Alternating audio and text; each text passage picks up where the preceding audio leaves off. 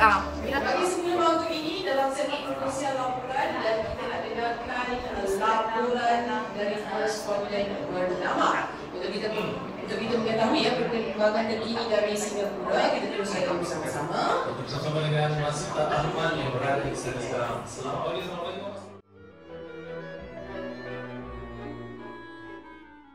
Dan ini apa yang Anis nak bawa ni? Ah, betul. Ini antara... Pasti kemenangan. Saya sendiri belum dia menang. Okey, ini antara kemenangan yang diraih oleh uh, perusahaan Perusahaan Sumber Sekolah Menengah uh, Bangsa Sri Sarjana uh, Tanda tempat pertama Sekolah Sri RM20,000 Nilam, nilam. Program nilam masih lagi berjalan. Cikgu, program nilam masih lagi ya? Okey, ini okey. Raifah cakap tuliskan anda ini merupakan hasil kerja tangan pelajar sendiri. Hmm. Uh, dari dan Boleh pegang ke tu? Uh, InsyaAllah saya boleh pegang. Kita cubalah, kita cuba. Jika pecah dan kebayang. Jangan sentuh lah. Okey, ini antara hasil kerja pelajar sebenarnya uh, kolaborasi dengan panitia seni. Uh, jadi uh, pelajar bawa mark mereka, kemudian mereka lukis dan kita juga dimaklumkan bahawa uh, apa yang dipamerkan ini akan bertukar tukar setiap bulan. Mesti ada banyak benda kita yang pelajar buat.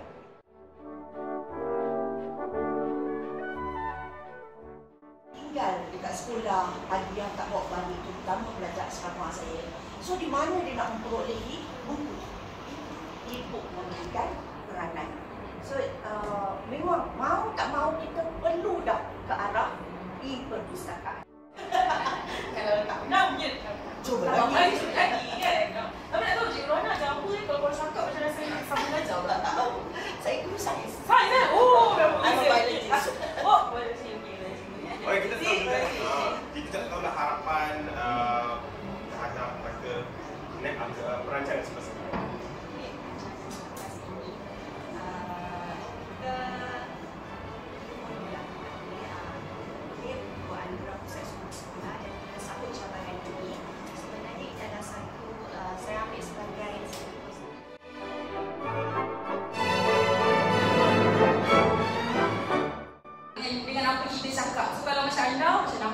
nampak macam fokus lah, fokus sebab cikgu juga lah.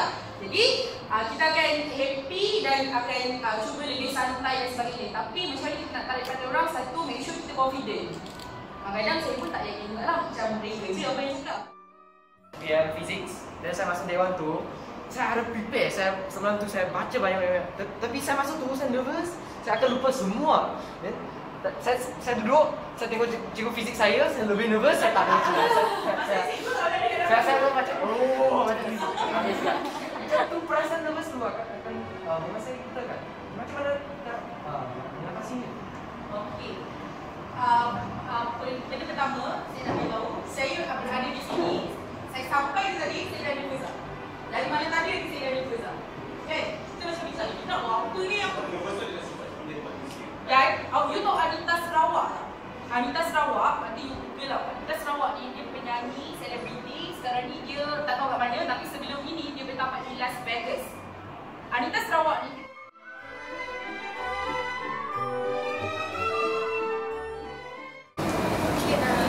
Fauzan Azmi boleh memperkenalkan diri.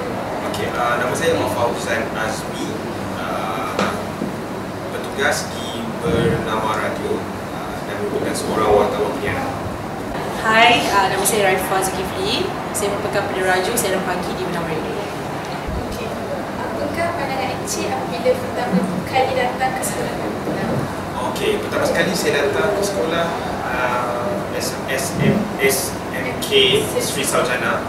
Uh, pastinya saya saya mengimbau kita mengimbau kembali lah sama-sama sekolah tapi uh, pertama kali kalau tanya saya uh, ini merupakan komunikasi pertama saya masuk ke sekolah. Uh, saya suka sekolah dan sebagainya. Saya impress sangat teruja melihat suasana yang begitu uh, teratur rapi bersih dan sebagainya. Yang paling penting menarik uh, dan juga interaktif.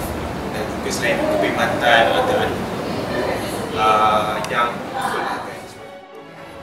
So sekolah kita sebenarnya kita mempunyai sebuah program namanya JIBB. So uh, Generasi Intelektual Bijak Berbicara. So dalam program tersebut kita lakukan berbagai aktiviti seperti um, pengucapan awam, uh, masa perhimpunan, masa rehat dan sedikit selepas uh, waktu balik sekolah dan kita juga ada buat macam uh, perdebatan dan semua tu. Jadi saya nak tanya apakah pandangan pun tentang program ni. Okey, terima kasih. Kavina, terima kasih Kavina. Uh, ini sebenarnya sangat bagus kerana sepanjang saya bekerja, ramai orang yang uh, bagus untuk CV. Uh, sijil, tentu saya sangat baik. Tapi apa masalah uh, sehingga mereka mungkin tidak dapat kerja contoh kan untuk bidang saya. Mungkin mereka tidak berani untuk bersuara. Bila bercakap kan, duduk, malu. Uh, sebenarnya bijak takut. Jadi usaha yang dilakukan oleh SMP Sri Sarjana melalui GIBB adalah usaha yang sangat murni untuk membantu modal insan dan juga menambah lagi uh, bonus sekiranya uh, pelajar ini keluar nanti untuk mereka sambung pengajian dan juga untuk mereka mendapat kejayaan. Uh, saya juga ingin tanya, apakah manfaat pendekatan tentang uh, program ataupun aktiviti berkaitan dengan pengucapan awam di Menara Gading? manfaatnya sama. Uh, kenapa kita belajar? Kita belajar untuk kita dapat kejayaan bagus. Uh, macam mana nak dapat kejayaan bagus? Selain uh, kita punya CV ataupun kita punya keputusan CGPA kita kena ada nilai tambah. Saya rasa pengucapan awam adalah salah satu nilai tambah yang sekarang ini dilihat. Uh, dan di Malaysia pun kita dah ada parlimen belia dan sebagainya. Jadi ini antara saluran yang bagus yang boleh digunakan untuk belajar. Dan untuk mereka yang ada nilai tambah ini saya rasa peluang mereka lebih luas uh, bila mereka uh, menceburi bidang kerjaya kasih.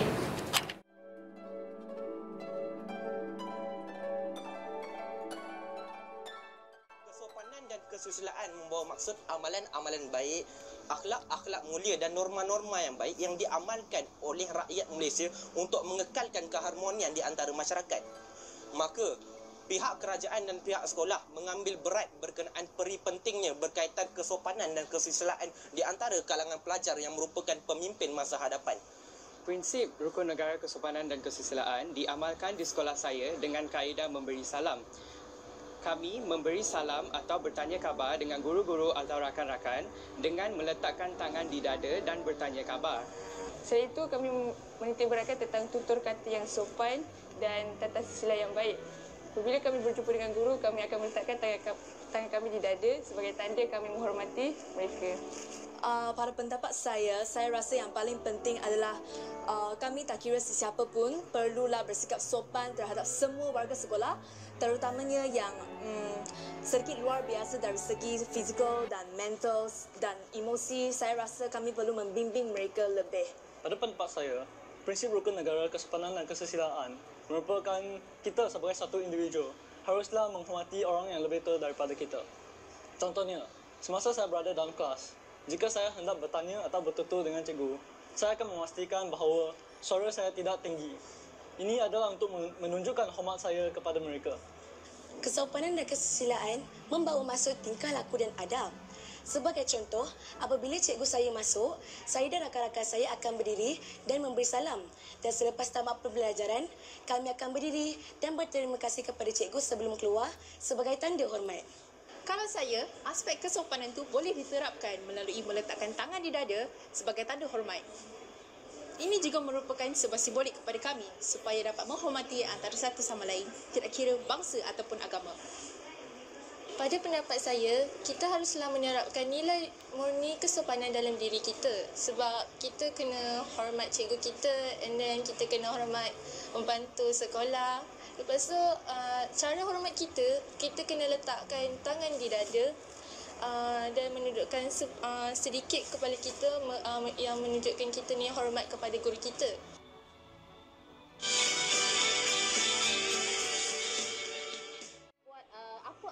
Apa tugas tu kita kena maklumkan.